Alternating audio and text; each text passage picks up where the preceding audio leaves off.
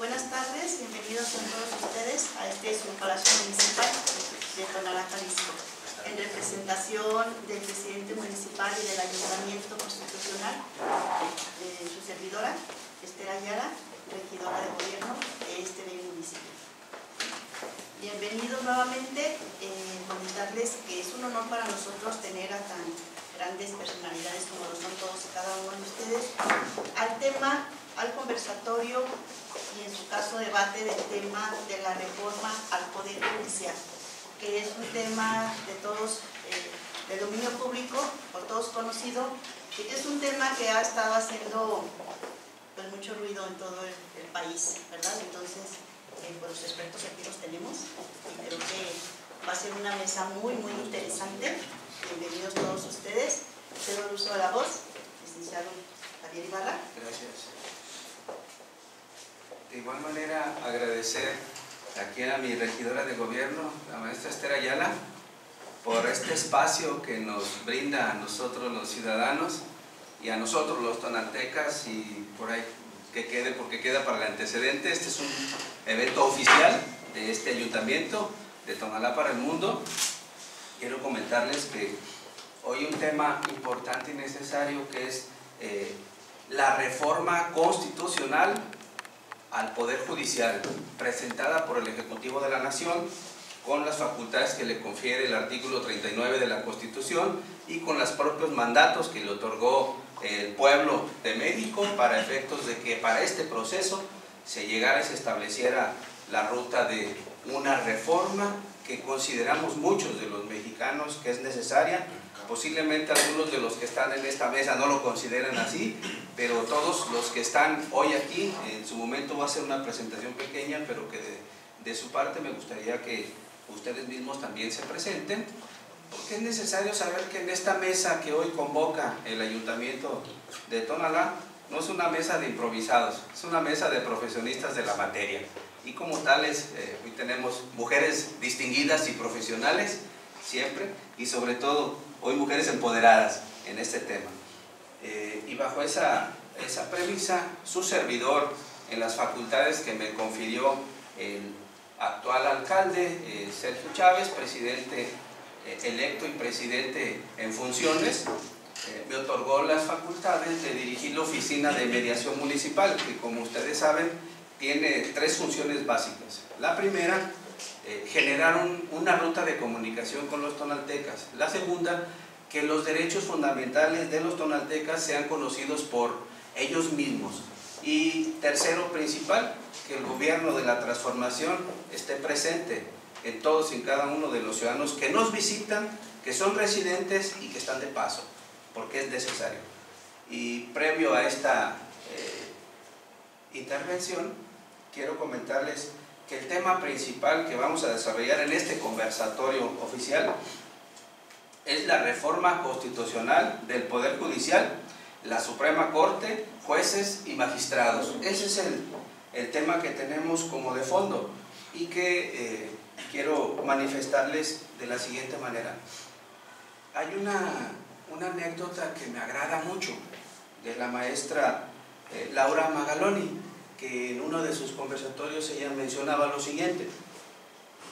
Los derechos no son derechos si no pueden ser ejercidos. ¿A qué vamos con esto? Los tonaltecas tenemos derecho a un gobierno de la transformación, un gobierno por el cual fueron eh, mandatados y electos algunos de los servidores públicos que estamos en esta mesa. Pero si esos derechos no pueden ser ejercidos como son el libre comercio, el libre tránsito, la libre representación, entonces eh, estoy totalmente patente con lo que dice la maestra Laura Magaloni, de que los derechos no son derechos si no pueden establecerse como tales para poder ser ejercidos. Y también mencionarles que para este tema eh, de la el proceso de la reforma constitucional que plantea el Ejecutivo de la Nación, me gustaría dejar así como que patente unos pequeños puntos de los cuales los vamos a ir desarrollando de todos y cada uno de los que están en esta mesa de conversatorio. El primero, que me gustaría expresarlo de la siguiente manera. aunque los derechos estén reconocidos en el Código, eh, en la Constitución Política de los Estados Unidos Mexicanos, así como en los tratados internacionales, estos derechos no funcionan si no son patentes a favor de los mexicanos. Ese es como un principal, un principal punto, el, por qué consideramos los mexicanos que la reforma constitucional tiene vigencia para este tema. Otro también, consideramos que todas esas autoridades del orden federal les faltó comunicar trabajo, les faltó comunicar la trascendencia de su función como Poder Judicial Federal y que en su momento hubo unas sentencias emblemáticas que, que, que vieron y previeron derechos fundamentales de todos los mexicanos, pero como no nos enteramos, nadie se enteró entonces, esas sentencias emblemáticas no quedaron más que en el cajón de quien las dictaminó y los ciudadanos no nos enteramos. Por eso ese es un tema que es importante. Y de, igual manera, creo que es del dominio público la impunidad que se tiene en el ejercicio de los derechos cuando solicitamos la intervención de la justicia en este, en este proceso y etapa en donde los delitos que se denuncian no tienen trascendencia y los que no se denuncian son miles. Y aquellos que por percepción de inseguridad ni siquiera acuden a un centro de justicia. Porque cuando acuden creo que son considerados como ciudadanos que no pueden ser escuchados y todavía, y esto no son palabras propias de, de, su servidor como tal, como le menciono, su servidor Javier Ibarra, eh, titular del Centro de Mediación de este municipio y eh, abogado postulante también, doctor eh, en honoris causa por actividades sociales en ese sentido. Y como les decía, no es un tema que lo menciona eh, Javier Ibarra, lo menciona ciertas instituciones que tienen como meta hacer análisis previos, como es el EPIPE 2023, que es la encuesta nacional eh, de, victimización, de victimización y percepción eh, sobre la inseguridad que priva en nuestro país. También, como les mencionaba, la existencia del nepotismo. Posiblemente ese tema jurídico, estoy englobando unos temas eh, racionales porque son necesarios vernos en ese, en ese sentido. Y en ese sentido le digo, el nepotismo habla de que en un juzgado, en un eh, partido judicial o juzgado, como coloquialmente lo conocemos los abogados, pero me gustaría que el diálogo de mi parte siempre va a ser así como que muy sencillo para que nuestra audiencia y nuestros ciudadanos eh, tonaltecas sepan el lenguaje que utilizamos los abogados también puede ser coloquial, puede ser coloquial y puede ser muy sencillo para que sea plenamente identificado. Como decía, el nepotismo es el dominio público que muchos de los partidos judiciales, eh, los actuales titulares tanto de la Suprema Corte como de los eh, jueces magistrados del orden federal, luego nos referiremos al local, tienen a muchos de sus familiares incluidos en las nóminas. Y les digo, no es un tema de versión, es un tema del dominio público. que ese fue otro de los puntos eh, preliminares. porque la reforma constitucional empezó a pegar en los ciudadanos como, como tal, en ese sentido? Y como último punto, algo que también es del dominio público, la desigualdad. Tenemos magistrados jueces y ministros que ganan mucho más, a lo mejor posiblemente dos veces o tres veces más que el propio presidente de la República, y que la Constitución prevé que nadie puede tener o devengar un sueldo mucho más alto que el presidente de la República. Pero como eh, son expertos en el derecho y manejo de la, de la ley, eh, se ha violentado durante más de 19 años eh, un mandato que está constitucionalmente establecido, donde se establece que nadie, nadie puede tener un emolumento más alto que el propio presidente de la República, cuestión que no se ha tomado en cuenta, ese es algo que la gente tiene como, como meta. Y este conversatorio me gustaría eh, manifestarlo y, presentarlo eh, de una manera estructural. ¿De qué manera podría ser esa estructura? De, bien sencillo, conforme a la norma y a la técnica que se va a establecer para la reforma, considero desde mi expertise personal que tiene tres puntos fundamentales, que ahorita entre todos los vamos a dilucidar o de mi parte yo voy a establecer este, un tema de, comunicación en ese sentido. El primer, el primer concepto de intervención es lo siguiente. La reforma constitucional es técnica porque establece la forma y el método cómo se debe de llevar a cabo desde, una forma, desde un principio como eh, etimológicamente dice la propia palabra, de, de manera técnica. Y el segundo punto, la reforma es a la estructura orgánica. ¿Por qué a la estructura orgánica? Todo ese poder que conocemos eh, entre jueces de distrito, magistraturas, partidos judiciales y Suprema Cortes, todo eso es una estructura orgánica, la cual en su momento va a ser tocada para, para establecer por qué y de qué manera se tiene que eh, reformar. Y el último punto, que es el que nos ha provocado en la ciudadanía, en el contexto nacional y que es materia de miles de puntos de tinta en todo el país, que es la reforma tiene un carácter eh, político. ¿Por qué tiene un carácter político? Dicen los jueces y magistrados, inclusive los ministros de la Suprema Corte, que ellos no son políticos, ellos se dedican a defender la nación y que ellos son los garantes del derecho fundamental y que también, eh, también tienen la función de ser el eje rector en los aspectos fundamentales de la impartición de leyes y de justicia, y que son revisores, revisores de nuestra máxima carta magna, que es nuestra constitución. Pero creo que todos, de todos del dominio público ese pequeño incidente del, ministro de apellido Dayan, que guardó en una caja de su cajón por más de meses y meses un tema emblemático que era el cobro de impuestos a un empresario muy alto nivel y que goza del poder de decir que, que, guarden por ahí ese tema. Y ese es uno. Y ese tema es político. ¿Por qué?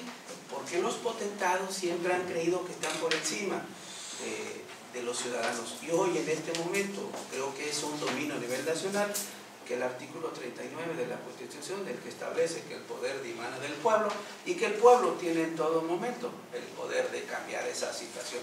Y es ahí donde se ha legitimado algunas de las funciones este, de, los ciudadanos para poder exigir, mediante qué, mediante su derecho del sufragio a, a la determinación de cómo se debe de establecer la forma y método de gobierno. Por eso les menciono que esta, esta reforma estructurada en tres puntos, la reforma es técnica, la reforma es, es, orgánica y la reforma es política. Bajo ese tema me permito ceder el uso de la voz. Eh, hoy les decía, nos acompañan personas de muy alto nivel y me gustaría desde su expertise, eh, mi regidora que nos invite a que se presente. Gracias, es cuanto mi primera intervención. Doy la bienvenida a otros compañeros ya de, de lucha, conocemos de tiempo, pero que también, sin duda alguna, tienen una muy buena opinión, algo que aportar a este tema tan importante para nuestro país y desde luego para nuestro municipio. Pues, eh, me gustaría que cada uno de ustedes se pudiera presentar, no sé si en el momento que vayan a tomar la, la palabra, este, se pudieran presentar o si quieren que lo hagamos de una vez de uno en uno, pero podemos hacer también de esa manera. Este, Adelante. Del lado izquierdo, como. Creo que es más mecánico de una manera cuando. Para, para hacer el uso, el uso de la voz. Ok, perfecto, porque si tenemos una hora nada más de tiempo. Ya, Entonces, ya los conocemos. Este, sí. Si alguien quiere hacer uso de la voz. Yo quisiera hacer eso. Adelante. La democracia es el, es el gobierno para el pueblo, por el pueblo, y estas son palabras de Abraham Lincoln. Agradeciendo la invitación a este conversatorio, soy la licenciada Bonalía, docente, y es un honor para mí compartir el día de hoy con todos ustedes. Nuestro país es un país democrático. Ya lo dice nuestra Constitución en su artículo 40. Es voluntad del pueblo. Es la voluntad del pueblo mexicano constituirse en una república representativa, democrática, laica y federal.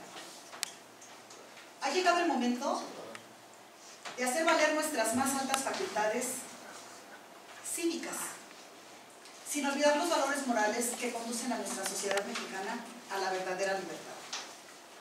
La propuesta de la iniciativa de reforma al Poder Judicial, tanto federal como local, es un tema que nos convoca a reflexionar, ya que es de trascendencia nacional. Nos encontramos en un momento de cambios, de cambios radicales. Lo anterior formará inminentemente parte de nuestra historia. ¿En qué consiste la reforma? La reforma que se propone plantea tres temas. Uno, la elección de ministros, magistrados y jueces por voto popular.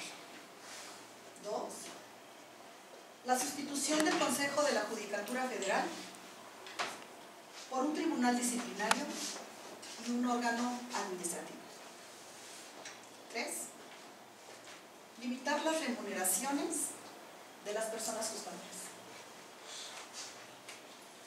Ya es tiempo de que los mexicanos y mexicanas ejerzamos el inalienable derecho de elegir a nuestros representantes de nuestros poderes, tanto ejecutivo como legislativo y judicial. Como bien lo ha señalado el exministro de Justicia, Arturo Saldívar, el, el pueblo debe legitimar al Poder Judicial. El pueblo no confía en su sistema de justicia. Todos sabemos que el mundo cambia, que estamos en constante movimiento y por lo tanto es necesario seguir el ritmo. Eso lo hemos vivido en los últimos años. Por lo que en otros países, como Estados Unidos, también se está llevando, se está llevando a cabo una reforma mediante la cual el presidente Biden se propone legitimar a los procesos de la Corte de su país. Otro ejemplo es el de Bolivia, el cual en el 2009 buscó un programa jurídico que tuviera una justicia abierta, transparente, pronta, gratuita y al servicio de la sociedad. Y no lo digo yo, lo dice la exposición de motivos de la reforma de la iniciativa de la reforma al Poder Judicial. En la que las altas cortes en ese país son elegidas mediante sufragio, con base en una preselección de candidatos, quedando de manifiesto que las autoridades de ese país cuentan con el aval de la mayoría del voto popular. Digno e, e inequívoco de la soberanía popular. Me llama la atención la participación de la ministra Lenia Batres Guadarrama. En el comunicado 84 diagonal 2024 y en los diálogos nacionales sobre la reforma constitucional al Poder Judicial, la cual indicó el Poder Judicial está abierto al tráfico de influencia y cerrado a la ciudadanía. La reforma propuesta democratiza al Poder Judicial. Lo abre al escrutinio público, obligando a sus titulares a responder al interés general, creando el mecanismo de control que le ha faltado para garantizar rendición de cuentas, administración fiscalizable y sanciones a personas juzgadoras Cualquier reforma que se apruebe tiene que servir para que su única misión sea garantizar la justicia. Cualquier, y yo les digo, ¿cuándo hemos visto que al revisar la página del Poder Judicial del Estado de Jalisco, en el apartado convocatorias, señale que hay vacantes. Solo aparece la leyenda, no se generaron. Entonces pregunto yo, ¿hasta cuándo? La reforma también garantiza de una vez por todas se cumpla el límite de remuneraciones a las personas juzgadoras. Por una parte, el Poder Judicial con su llamada y evocada autonomía se ha convertido en un monopolio, ya que cuenta con amplias facultades para nombrar, remover e instruir personas servidoras públicas de mando, que realizan las actividades sustantivas dentro de dicho órgano los elegidos para ocupar esos puestos son allegados y conocidos, es decir, a través del nepotismo. A través de lo que ellos llaman una escuela judicial, que más bien es un club de amigos. Existen muchas mexicanas y mexicanos que cuentan con gran preparación académica y experiencia para ocupar tan honorables cargos. Sin embargo, para la mayoría son inalcanzables. Yo soy docente de varias universidades y mis alumnos miran el Consejo de la Judicatura como puertas del cielo donde los espera el representante de la divinidad. Y si logran entrar, aunque sea de barrenderos, ya se ganaron la gloria. Porque es una oportunidad de entrar al club de amigos y participar en muchos de los eventos, así como en el círculo privilegiado. Ahora bien, el desacuerdo que manifiestan los que ahora representan la justicia en México meramente político, ya que les resta poder. Lo anterior en virtud de que al contar con la facultad de proponer, a través de los tres, de los tres poderes, a los candidatos a ocupar los cargos de jueces, magistrados y ministros de justicia, desmantela los hilos que se han ido tejiendo entre ellos, evitando que hagan de las suyas como hasta ahora. Por otro lado, ya lo dijo el expresidente de la Suprema Corte de Justicia, el doctor Arturo Saldívar, la autonomía judicial exige legitimidad social, la cual está rota desde hace mucho tiempo. Lo anterior se afirma, ya que se preguntó a la gente a través de la Suprema Corte de Justicia por medio de diálogos a la transformación durante seis meses intensos y en 400 foros. La gente dice que tenemos una justicia elitista, que privilegia a los que tienen frente a los que no tienen, que castiga la pobreza y no a la delincuencia, y que no tiene legitimación social. La Suprema Corte se convirtió en la defensora de las élites, de la oligarquía de los poderosos. Eso lo afirmó el señor Arturo Saldívar. El pasado 2 de julio, el pueblo de México le dijo a la Suprema Corte con más de 36 millones de votos, no más injusticia, ya basta. Queremos un poder judicial sensible, cercano a la gente, con humanismo más democrático. Tenemos hoy un claro mandato popular, siguió diciendo, que no podemos traicionar, ya que más de 36 millones de mexicanas y mexicanos votaron por el Plan C, para que elijamos a través de las urnas, a través de nuestros jueces, a través de nuestras urnas a nuestros jueces, por el voto popular. Además, hubo una frase que me gustó mucho que él afirmó y que me gustaría reproducirla. Él dijo, la justicia no es un privilegio, es un derecho. Devolvamos la justicia a quien le pertenece, al pueblo de México. Por otra parte, es importante resaltar lo que afirmó nuestro actual presidente Andrés Manuel López Obrador, que me permito reproducirlo con sus propias palabras. El primero, él dijo, primero, aclarar que la reforma que se propone no incluye a los trabajadores del Poder Judicial. Ellos no tienen nada que temer. Al contrario, a ellos se les garantizan sus derechos y estoy seguro que se van a beneficiar porque ya no va a haber influyentismo, nepotismo, imposiciones y corrupción. Entonces, que no los estén engañando. La reforma tiene que ver básicamente con la elección de jueces, magistrados y ministros de justicia. De esa manera, se desmantela la red monopólica que se ha venido tejiendo a lo largo del tiempo. ¿Cuántas veces hemos visto que entra un nuevo juez y el personal de juzgado se pone a temblar de miedo? Porque ¿saben qué? Él llega con su gente, y que los van a destituir, generando un ambiente de incertidumbre para los trabajadores de justicia. ¿Cuántas veces hemos sido testigos de abuso de poder y de lo que representan al proponerle a las meritorias, a los meritorios y al mismo personal en turno invitaciones para formar parte de su vida privada, por decirlo de una manera decente, por no decir acoso. con el beneficio de generar un espacio en el, área laboral o simplemente para permanecer en él. Por lo que se ha perdido la confianza en el Poder Judicial y eso lesiona la justicia. El pueblo de México merece tener confianza y seguridad en el sistema de justicia. Ya no más compadrazgo, ya no más dedocracia. Ahora, el pueblo tiene la decisión de elegir a los miembros de los tres poderes y ejercer sus derechos inalienables a través del voto. Es cuanto. Gracias, maestra. En ese, gracias, gracias. En ese sentido, quiero manifestarles que la maestra acaba de dar una cátedra de lo que yo les mencionaba, que la reforma constitucional es necesaria llevarla en tres aspectos, tres aspectos fundamentales, como lo mencionábamos desde el inicio, en el sentido, la reforma técnica, la reforma orgánica y la reforma política, aunque hablamos en ese sentido. Voy a decir por qué.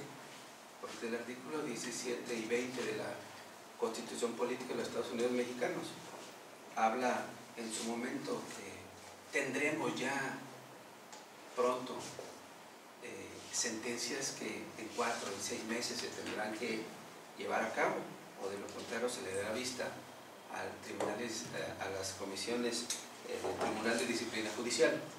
De igual manera, el artículo 94 establece que se creará esa, ese tribunal, el artículo 94 de la Constitución Política de los Estados Unidos Mexicanos, se creará esa, ese órgano de, de disciplina judicial. Y algo que es importante eh, dentro de esa propuesta que se tiene de la creación de ese órgano de disciplina, como es en el artículo 94, la reducción de 11 ministros a 12, la reducción de 15 años a 12 años en su representación y que estará en manos de muchas de las personas eh, que creen que las cosas eh, van a estar difíciles, tan sencillo como someterse al mandato que ha dado el pueblo. En ese orden, repito, darle el uso de la voz, en ese mismo sentido, al doctor Arturo, posteriormente al eh, doctor Rafael y posteriormente uh, un ciudadano eh, que es interesante que esté presente, al ciudadano Julio Olayo. En ese orden, por favor. Igual le solicito que se hagan su presentación. Muchísimas gracias. Eh, su servidor, el doctor Arturo Sandoval, actualmente el presidente del periodo 24-27 de los defensores jurídicos del Estado de Jalisco. Soy postulante en materia penal de alto impacto y docente en diversas universidades y capacitador en el Instituto de Licencia de Ciencias Forenses respecto a los peritos. En lo que conlleva a la temática eh, establecida de la reforma al Poder Judicial, considero que es una circunstancia de urgencia para la sociedad mexicana. No hablemos nada más del Estado, de urgencia en la sociedad mexicana. Ello en consideración de los múltiples atropellos que se realizan dentro de los procedimientos judiciales en las omisiones que se establecen dentro de nuestras normativas. Es decir, que si bien es cierto, la ciudadanía tristemente confía en el Consejo, en el Poder Judicial, para poder ejercitar esos derechos de los que ya tiene derecho, valga la redundancia, ya tiene derecho para poderlo requerir. Pero la sorpresa es cuando dentro del procedimiento por omisiones, criterios de carácter subjetivo, porque no hay una realización clara dentro de los procedimientos, determinan de una forma incorrecta y terminan bateando los asuntos o simplemente dejándolos encarpetados. Hablo de esto en experiencias propias, reitero, soy postulante en materia penal y es triste observar que hay procedimientos delicados, por no decir este, circunstancias este, más específicas, dentro de los cuales se ven a lo mejor inmiscuidos algunos conocidos políticos y situaciones dentro de las cuales el ciudadano quiere ejercer este tipo de justicia y terminan siendo pues en un. Y esto no tiene que ver más con un nepotismo, no tiene que ver más con este, ser omisos en la realización correcta y aplicación del sistema judicial. Y no, sé, no, no, no hay, no hay límite de materia, no hay un límite de materia en sí. Esto es general en los procedimientos del orden familiar. Es triste, es triste observar que precisamente eh, se ha prostituido la justicia como tal.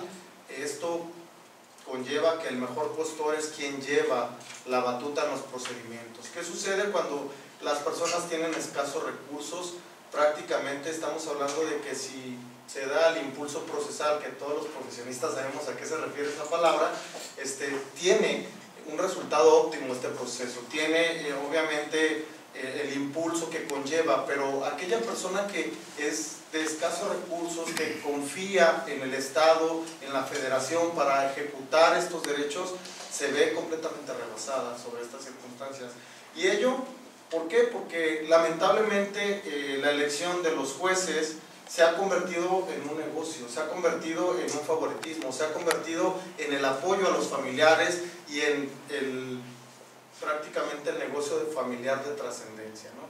Cuando, como bien ya lo advirtieron aquí algunos profesionistas, hay demasiados este, mexicanos que tienen la capacidad. Hay una palabra que debemos de entender como técnica, porque hay una malinformación en la difusión de esta reforma del Poder Judicial y, y quiero extender esta parte porque hay muchos colegas que piensan que el pueblo va a elegir directamente a los jueces salidos de la nada cuando no es así. Hay una malinformación por parte de las personas. Cuando se habla de técnico, se habla precisamente que tiene que cumplir un cierto requisito para poder postular a estos puestos. Y sobre estos va a haber una valoración por parte de expertos para ver si se pueden adherir a este supuesto cuando malamente la sociedad ha difundido esta información creando confusión en, todo, en toda la sociedad, haciéndoles pensar que yo soy un simple gobernado y voy a elegir a él porque es mi mejor amigo y creo que él va a ser, pues claro que no va a ser así. Y tenemos que entender que esto tiene una trascendencia de un protocolo técnico. Cuando hubo la reforma en el 2008, que aquí en Guadalajara fue hasta el 2016, prácticamente se entendía como una defensa técnica y adecuada, no el que tuvieras la cédula como, como profesional, sino el que tuvieras los conocimientos prácticos para poder llevar una defensa correcta en materia penal. Y a esto se refiere la palabra técnico, cuando es una reforma técnica que se tienen que cubrir ciertos requisitos, experiencia, conocimiento y entender la trascendencia de todos y cada uno de los objetos que tienen nuestras normativas y no dejar a un lado lo más importante nuestra constitución, que es en la que todos los mexicanos confiamos para la impartición de la, de justicia Juan. Gracias, doctor. Dice, el doctor acaba de tomar o tocar un punto medular. Lo que se ha estado comentando en los medios de comunicación, eh, en el sentido eh, de que cualquier persona puede ser ministro, juez, magistrado, y es algo tan sencillo como ser ciudadano mexicano. No podemos declararnos ser ciudadanos mexicanos si no, si no eh, de alguna manera cumplimos con los mandatos sociales que se tienen. Haber nacido en nuestro país, tener un acta que te identifica como tal, y que esa acta trascienda en el sentido de identificarte específicamente como ciudadano mexicano y el nivel de la expertise, como finalmente lo comentaban, y eso no es nada más porque nos guste, porque la reforma lo dice, desde el constituyente eh, establece en, la, en, el artículo 95 de la Constitución Política de los Estados Unidos Mexicanos, el artículo 95 establece como cuando cualquiera de nosotros quería sacar, digo, en el género hombre aquí, vayamos a sacar nuestra cartilla militar, que es un documento que debemos cumplir cívico, establece qué requisitos necesitas. Y el artículo 95 de la acción Política de los Estados Unidos, Mexicanos establece claramente qué requisitos ser mexicano, tener una expertise de estudio, tener toda una serie de requisitos que no cualquiera lo podemos reunir, sino es que a través del tiempo hayamos llevado a cabo eh, una academia durante muchos años para poder tener una visión clara de lo que es la impartición de justicia o la postulación de la justicia en favor de los mexicanos. Eh, maestro Rafael. Muchas gracias, eh, doctor Ibarra. Mi nombre es Rafael García, su servidor y amigo. Soy abogado de profesión, tengo ya más de 15 años de, de experiencia. Quiero dar las gracias antes de iniciar a la regidora Esther Ayala por su invitación, al maestro Ibarra, a los defensores jurídicos, al doctor Arturo, porque tengo la fortuna de, ser parte de los defensores, ¿verdad? Una asociación que se preocupa por mantenernos a la vanguardia. Estos foros son de suma importancia para darle a conocer a la sociedad en general qué es lo que está sucediendo en la actualidad. Me permito dar, dar inicio con mis comentarios que considero objetivos y de alguna manera no es por debatir aquí con mis compañeros, pero sí, sí quiero hacer una, una referencia que nos corresponde a nosotros como profesionistas. El punto que acaban de tocar ustedes es, es medular. Nos corresponde cuidar la manera en que se van a elegir los jueces. No perdamos de vista que tenemos diputados que hacen leyes y que no son abogados.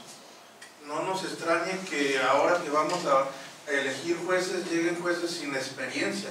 Ese es un punto que a nosotros como profesionistas, como litigantes, como postulantes, como sociedad en general, debemos de tener mucha atención que no se vaya a corrientar el proceso de elección, porque van a ser, van a ser elecciones donde el pueblo y la sociedad va a elegir.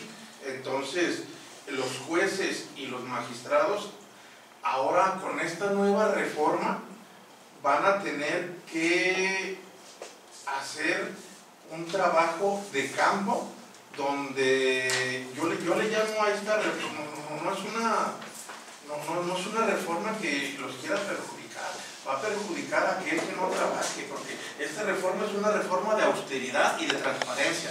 Se trata de eliminar todos aquellos gastos excesivos, esos fideicomisos que a mí me ofenden, eh, 90 millones para lentes, o sea, les pagamos sus trajes, sus ropas, por cargos y trabajos que no hacen. Se les paga comida, alimentos, cuando el trabajo lo realizan los secretarios, los notificadores, cuando tienen un horario de 9 a 3 de la tarde.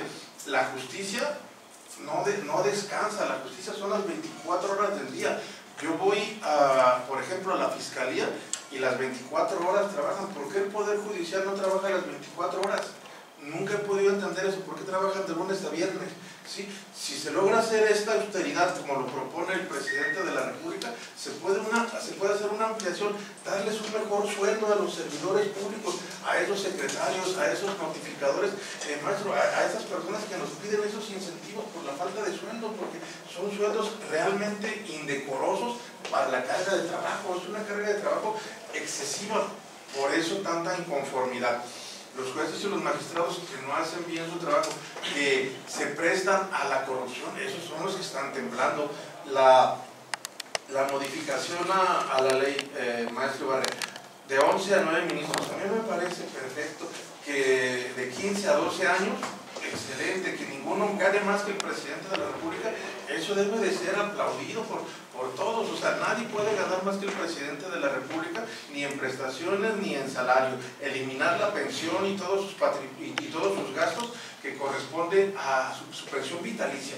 ¿Cómo es posible que tengamos un salario de 260, 270 pesos al día de, de un obrero y que un ministro de la Suprema Corte que trabaja medio día tenga una pensión de cantidades que no quiero mencionar porque a mí me resultan ofensivas?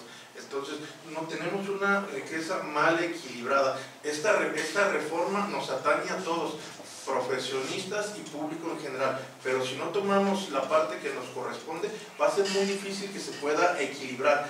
Eh, sustituir al Consejo de la Judicatura, otro, otro elefante muerto en la actualidad, el Consejo de la Judicatura dentro del Supremo Tribunal de Justicia o dentro del Poder Judicial es el órgano de vigilar el funcionamiento de los juzgados, se, ha vuelto cómplice de los juzgados. Con esta nueva reforma se crean dos órganos eh, dependientes, de uno el, uno Tribunal de Disciplina y el otro el órgano de Administración Judicial. Estupendo, sí, si con eso vamos a poder acabar con el nepotismo, porque no es posible que una persona que tenga el conocimiento, yo, yo tengo muy buenos amigos y conocidos, sin menospreciar a ninguno de los que están aquí, con una capacidad excelente para ser jueces y nunca han podido ser elegidos porque nunca aprueban el examen. Y conozco personas que puedo decir que, que, también son mis amigos que no tienen la capacidad de ser jueces y sin embargo son jueces. Sí, porque su papá fue, eh, fue juez, fue, fue, magistrado del Supremo Tribunal de Justicia y los tiene acomodados ahí. O sea, eso es inaudito para lo que estamos viviendo en la actualidad. Es, esta reforma no engaña a nadie ni quiere perjudicar a nadie. Aquellos jueces que no hagan su trabajo, que no estén haciendo las cosas como deben hacer, son los que están en contra de permitir ese avance que estamos requiriendo. La, la reforma solamente requiere austeridad y transparencia. Los jueces en la actualidad no son transparentes. Vamos, tengo la oportunidad de compartir la, materia penal con el doctor Arturo, los jueces en realidad no son transparentes, o sea, eh, con, una, con la misma vara juzgan de manera diferente, de acuerdo a las circunstancias económicas, eso en un sistema penal oral en la actualidad no es posible, necesitamos este cambio, necesitamos esta reforma urgente, pero que la sociedad entienda que no es en contra de que se le quiera quitar el poder a aquellas personas que lo están derrochando de manera equivocada. Se le quiere quitar el poder a aquellas personas que no son aptas. No dudo que en la actualidad y en, de, dentro de esas mismas personas existan buenos funcionarios públicos. Ténganlo por seguro que ellos van a aprobar esos exámenes, no tengo la menor duda, pero aquellos que no son personas capaces se tendrán que ir. La reforma judicial viene a ser un parteaguas. Ya hubo la reforma eléctrica, ya hubo la reforma laboral, este, este presidente ha hecho estas reformas con la intención de crear austeridad y de demostrar que de verdad los cambios son para beneficio de nosotros. Existen críticas, por supuesto que siempre las va a haber, pero no esperemos un cambio en un periodo de seis años. A lo mejor ni a mis hijos les va a tocar ver este cambio. Este es un cambio futuro que tenemos que participar todos.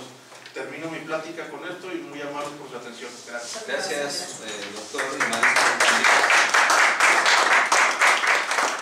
Eh, de mi parte, siempre quiero establecer que con independencia de las intervenciones, eh, que son muy atinadas, son muy acertadas, su servidor como abogado postulante, como catedrático y como servidor público, conforme a lo que establece la propia Constitución y el, el 115 que rige las funciones de los municipios eh, y, de, todo el Estado, en este caso, y de todo el país, pero en este caso a nosotros nos, nos atañe, que como gobierno, en el cual agradezco la presencia de eh, nuestra regidora eh, actual, del actual gobierno, nosotros nos regimos bajo el principio de la certeza, no del supuesto, porque como autoridades estamos obligados a fundar y motivar siempre, desde la forma de conducción hasta la forma eh, de comunicación.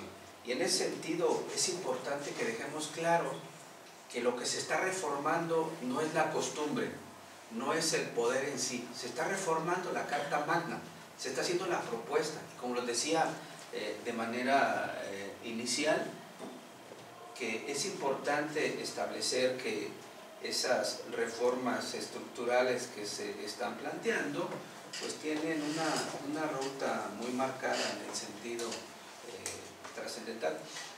Y se reformarán o se pretenden reformar, porque así lo establece la, la iniciativa de ley que formuló el Ejecutivo de la Nación en el artículo 17 constitucional, el artículo 20, el 94, el 95, el 96, el 98, el 99, el 100, el 105 y 107 y algo más importante, el 2 y 3 transitorios que tienen la pequeña función de subsanar lo que en su momento se haya podido omitir para que se dé de alguna manera la relevancia.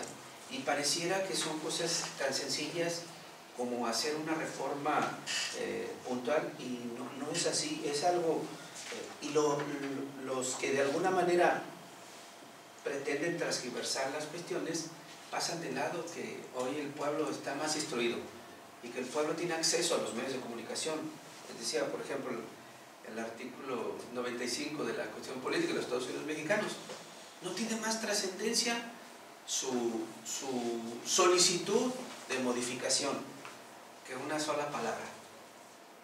El artículo 95 establece de alguna manera que la forma y el método de la designación de los ministros y las magistraturas. Designación. Y la palabra se está proponiendo cambiarse de todo el contexto constitucional, es eh, designación por elección.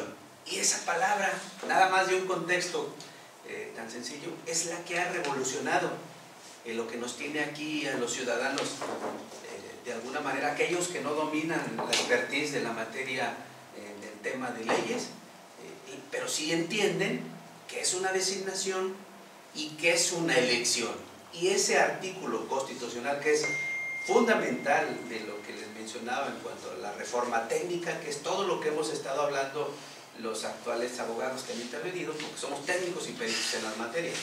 Y la reforma, la reforma orgánica, que es lo que menciona el artículo 95 de designación por elección. Es una sola palabra y esa sola palabra ha trascendido miles de temas, porque a fin de cuentas lo dice, no lo digo yo, ni lo dicen ustedes, ni lo dicen los partidos o los representantes políticos, lo dice el constituyente eh, de 1824 que estableció eh, en su artículo 39 eh, que el poder dimana del pueblo y que el pueblo tiene en todo momento el poder de cambiarlo. Y ese es cambiar una designación por una elección. Y no hay más en ese sentido. Por eso es importante que estos conversatorios tengan siempre la intervención de los que son peritos, pero que también eh, en ese momento hemos invitado a los ciudadanos, que unos que tienen representaciones sociales, otros que se sienten eh, de alguna manera eh, agraviados por lo que ha pasado en todos los aspectos del gobierno. En ese sentido me gustaría darle el uso de la voz al maestro Julio Layo y posteriormente si nos puede permitir la maestra María también que nos, nos diera una intervención en ese sentido. También seguía el maestro.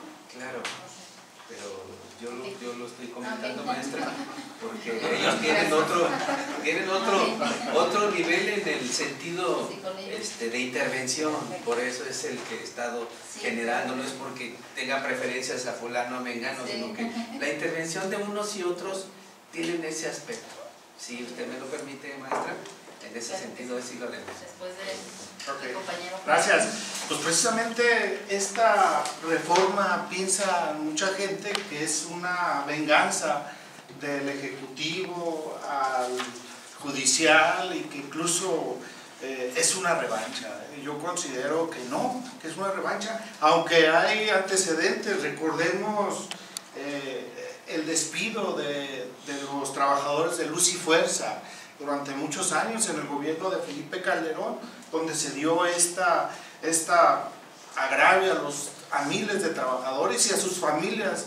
Se dice que 44 mil trabajadores de la luz de fuerza fueron despedidos y el Poder Judicial, los ministros no dijeron nada por dejarlos sin un trabajo, incluso sin muchos eh, eh, beneficios como despedidos de, un puesto de trabajo.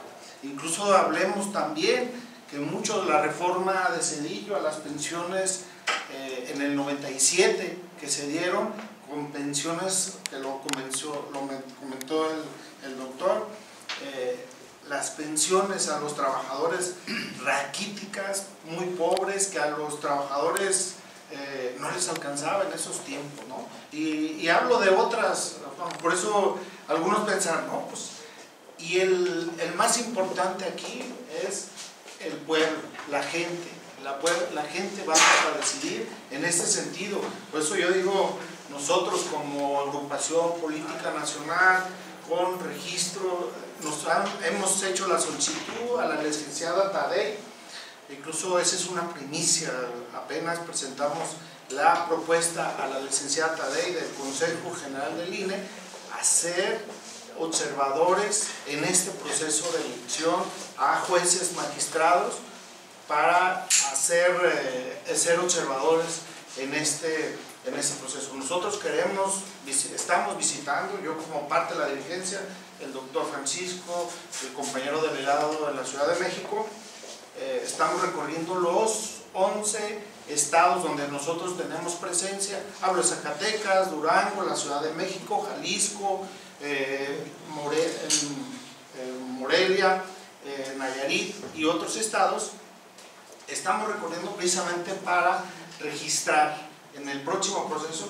La licenciada Tadei nos estaba mencionando, ayer nos envió una, una, un escrito precisamente donde nos mencionaba que todavía el proceso no ha empezado, pero también hay un acuerdo nacional de todos los personajes inmiscuidos en este, empujar, empujar esta reforma. A nosotros como ciudadanos nos toca empujar esta reforma para que sí se lleve a cabo, porque sí es necesario una reforma. Después de los agravios que nos han hecho, incluso los comentarios que han mencionado, nosotros creemos que la reforma sí eh, ha perjudicado a la mayoría de la población. Por eso les digo que no es venganza.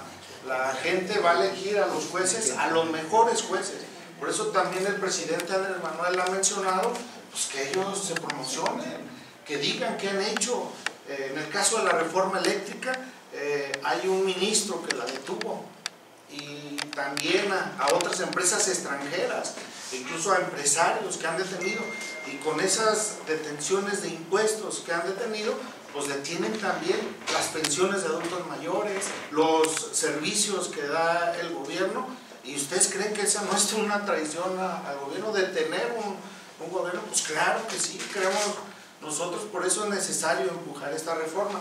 Eh, es una oportunidad, eh, nosotros como agrupación política con causa social solicitamos al INE ser observadores en este proceso y en este tiempo revolucionario la participación activa de la ciudad es importante. Ahí si ustedes no participan, les pido que participen eh, porque no van a participar los partidos, van a participar los ciudadanos. Por eso nosotros como agrupación política nacional o ciudadana queremos participar en ese proceso y queremos invitarlos a todos y a todas vigilar este proceso histórico porque también eh, puede darse un momento en que algún magistrado, como mencionaban, pues tienen los recursos y van a querer hasta imponerse. Nosotros vamos a vigilar ese, que ese proceso que se habla que va a ser escalonado, entonces estamos hablando de que va a ser un proceso de jueces y magistrados primero y después de, ministros. Eh, entonces, eh, en ese, a nosotros nos toca vigilarlo y les pido que nos apoyen siendo observadores, adoptar una casilla, adoptar incluso ver, porque van a presentar una lista no solamente que mencionan los compañeros conversatorio eh, que van, no van a, van a ser abogados. nosotros en esa lista, nosotros somos los, más importantes porque vamos a elegirlos, pero tenemos que elegir a, jueces, magistrados que en verdad cumplan su papel y que hagan un, buen desarrollo de, la justicia. Gracias. Gracias. Eh, perdón, eh, ciudadano Julio pudiera, para que quede en el antecedente histórico de las memorias de este conversatorio, porque va a ser para la posteridad, recordarnos su nombre, su cargo y de, qué organización nos acompaña, por favor. Claro que sí. Nosotros somos parte de la agrupación política nacional de Concausa Social. Precisamente el logotipo abarca cuatro, cuatro recuadros, que es una mano de lucha, las personas con discapacidad, el transporte y precisamente a las mujeres de las comunidades indígenas. Y, bueno, en, realidad todas las mujeres, pero le pusimos un color de, las mujeres eh, indígenas que nos represente.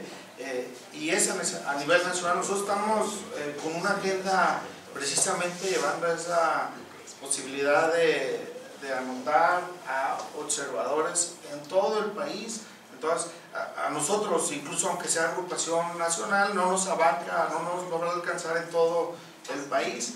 Por eso eh, queremos invitar a, a todos, en, lo mismo en Baja California o en Durango, en todos lados. eh, y nosotros aquí en Jalisco, pues, aparte por ser la sede a nivel nacional de, de- de- con causa social, pues queremos cumplir con todas las eh, los distritos, porque también en ese vamos a estar vigilando que el proceso, las casillas donde no sé si recuerden que el referéndum de los expresidentes, la revocación de mandato, ah, de cada tres se puso solamente una casilla. Entonces creemos que van a ser posiblemente así. eh, y aparte, no, no se van a poner todas las casillas, va a ser una de cada tres. Y aparte, eh, están viendo para ahorrar, acuérdense que estamos en un tiempo de austeridad, pero el INE está pidiendo más recursos para poder llevar eso. Entonces, a nosotros nos toca ser observadores, vamos a tener eh, una comisión a nivel estatal, eh, una comisión en todos los estados, que incluso a, a ustedes les hago la invitación, al maestro Javier Ibarra ya te le hicimos la invitación, eh, y, es- y quedan totalmente invitados. Y gracias por, por apoyarnos. Gracias.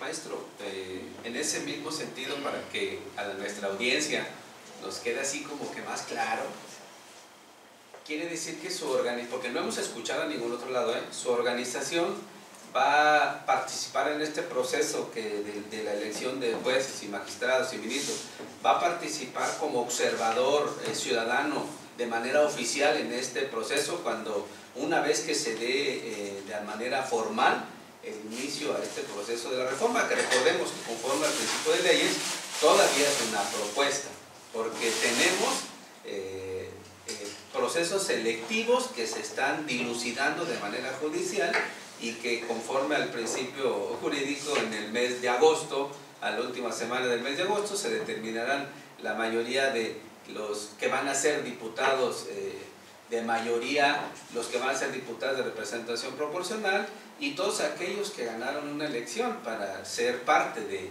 primero, de la, de, la primera eh, Cámara, que es los diputados federales, y posterior al Senado de la República. Entonces estará usted eh, en ese sentido participando de manera oficial y nosotros los tonaltecas estamos invitados a- a ser observadores ciudadanos a través de su organización porque creemos que va a ser un tema muy importante para, para el tema de participación. Le, le- le digo Hay dos esto, formas de participar. Primero, todos nosotros, todos los mexicanos, la constitución no lo permite, participar eh, y ser elegido. Pero nosotros como organización eh, tenemos la facultad de, de, eh, de acreditar observadores y solamente por ser parte de la asociación, incluso nosotros de capacitarlos.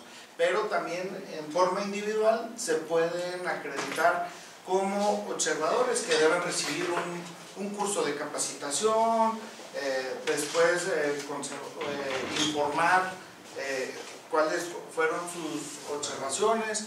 Y nosotros en ese sentido tenemos también que dar un informe a nivel nacional de, qué hacer por estado, por, por distrito, por distrito. Y Jalisco es muy importante en ese sentido, eh, porque aquí se concentra eh, no solamente 20 distritos, yo creo considero la Ciudad de México es muy importante, la Ciudad de México, eh, Veracruz, Estado de México y Jalisco. Es los estados donde se van a, a disputar la mayoría de jueces. Nosotros nos estamos concentrando aquí en Jalisco, pero creemos que también es importante la Ciudad de México eh, ahí, y vigilar eh, que sea un proceso e incluso eh, bueno, participar. Yo les pido que participen, aunque no se acrediten, pero participar. Pero también eso de acreditarlos te da un plus, porque puedes vigilar, visitar la casilla, vi- visitar que las personas con discapacidad puedan, que tengan una rampa, que, que reciban a los adultos mayores y les den facilidades por, por eso. Porque aquí en Jalisco les voy a mencionar algo, yo, yo incluso lo he comentado otras veces, pero en las elecciones pasadas se molestaba, había, no sé si es por el estado eh, un poco conservador, pero se molestaban que las casillas, los adultos mayores, se- formaran por adelante. Ellos querían que se formaran atrás o, que, o que los entretenían mucho, ¿no? No sé si escucharon y a lo mejor habrán escuchado porque en muchas partes sucedió eso. Entonces, vigilar que a los adultos mayores tengan una preferencia, que, que pasen y que sea incluso vigilar que, que no hubiera promoción alrededor de la casilla, que no hubiera un proceso, un proselitismo, vigilar eso, porque acuérdense que no va a haber participación de partidos, pero eh, estos, porque van a tener participación los jueces que están ahorita y los magistrados, los ministros van a participar todavía, les, Andrés Manuel dice que la propuesta es de que participen, ellos tengan, tienen posibilidad de participar, pero nosotros creemos que si tienen, tuvieron los recursos del mundo, ganaron 600 mil pesos al mes, eh, 300 mil, eh, no va a ser un proceso equitativo.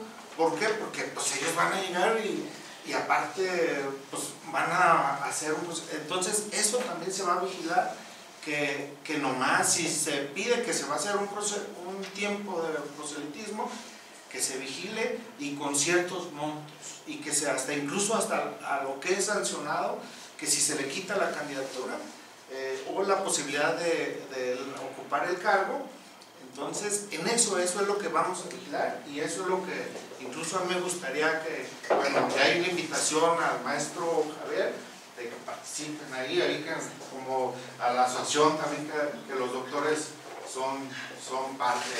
Gracias. Y si tiene una pregunta, a sus órdenes. Gracias. En ese sentido, como les decía, por eso es importante que en este conversatorio quede para el, para el histórico y es importante desde la expertise dar el uso de la voz a quienes somos expertos en el, en el manejo y lenguaje jurídico. Pero también es más importante, eh, aparte de ese lenguaje jurídico, que el ciudadano que hoy nos acompaña, eh, desde su expertise también personal, social, establezca una, una comunicación.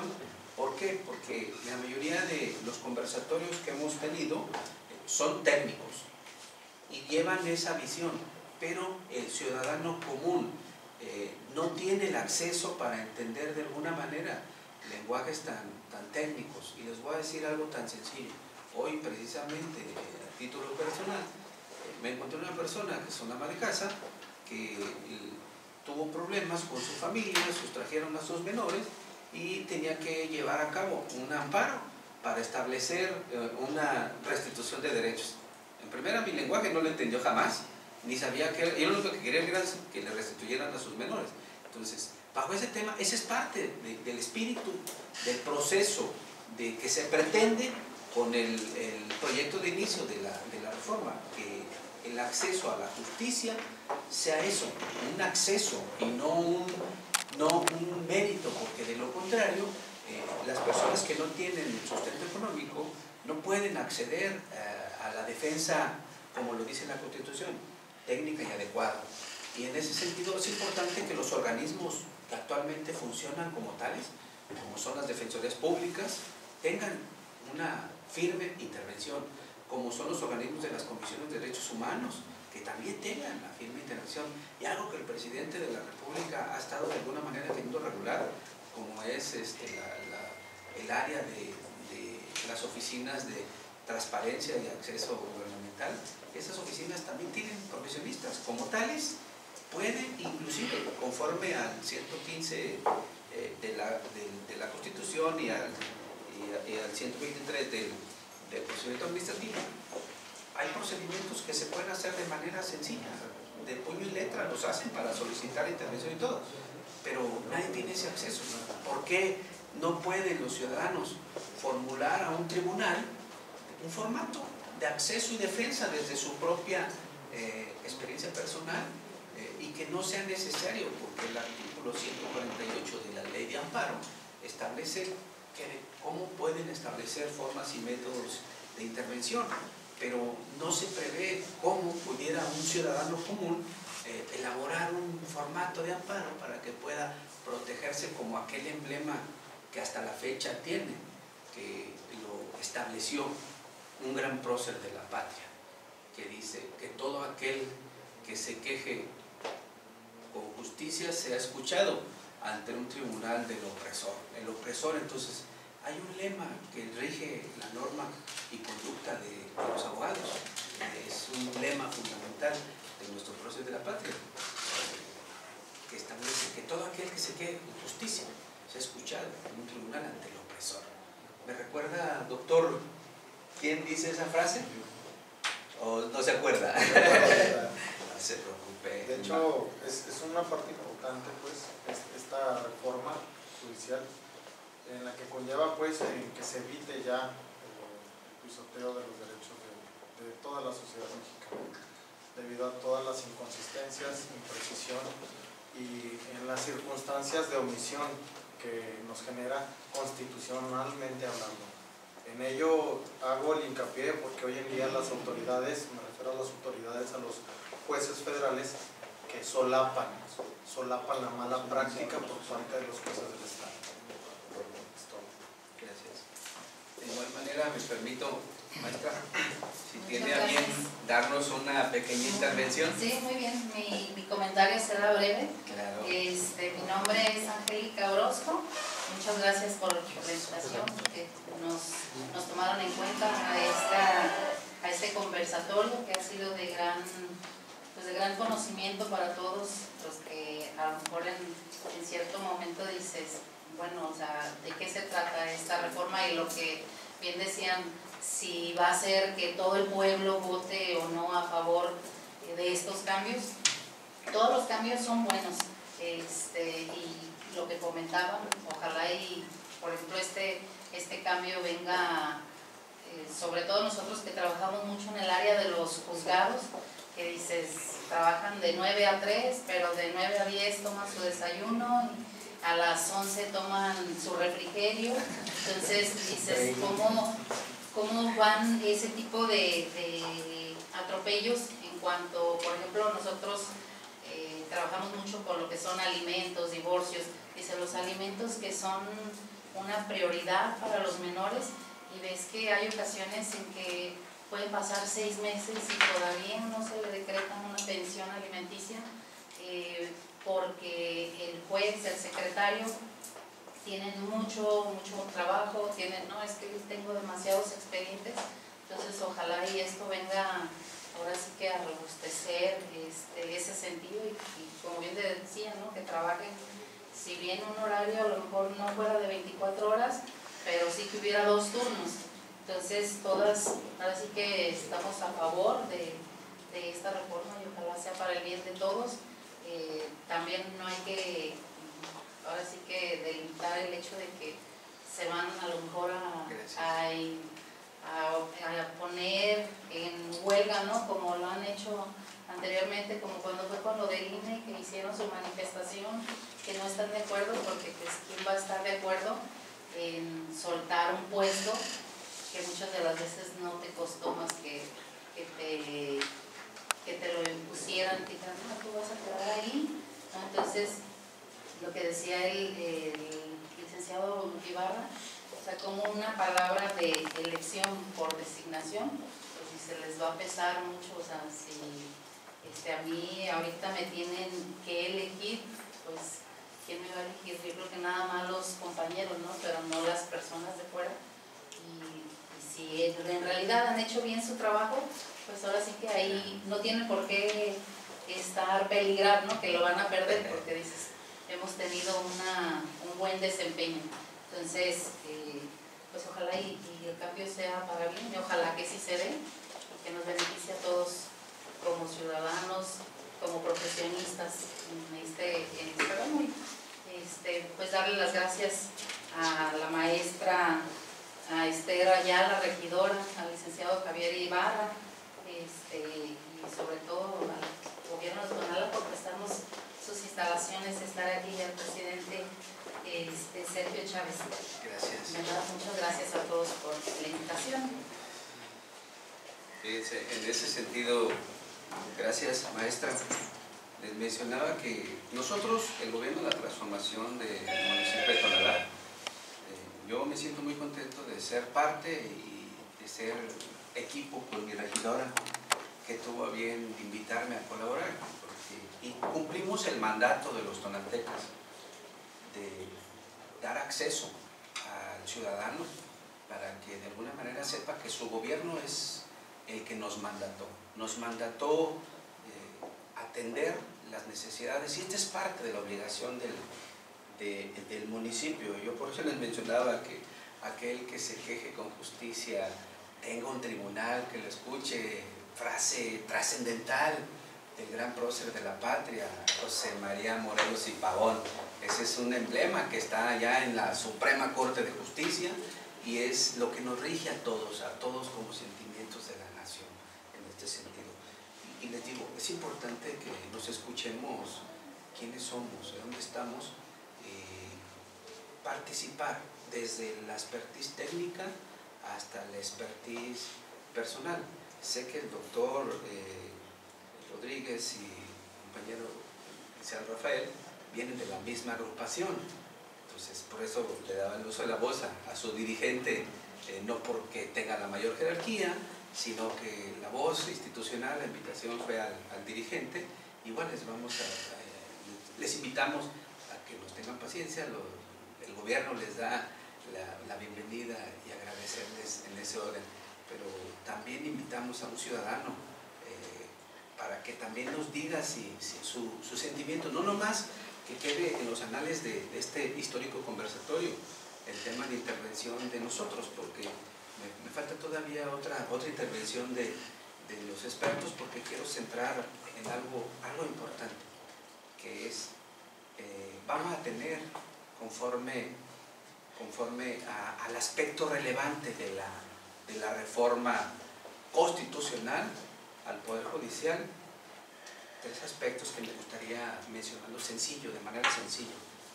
Vamos a tener eh, en puerta la remoción y sustitución por elección de 1800, 1820 magistrados en todo el país.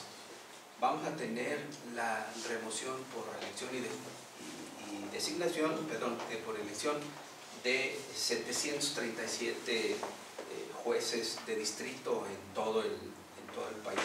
Y algo que está en puerta, se van a elegir nueve ministros que van a ser los representantes.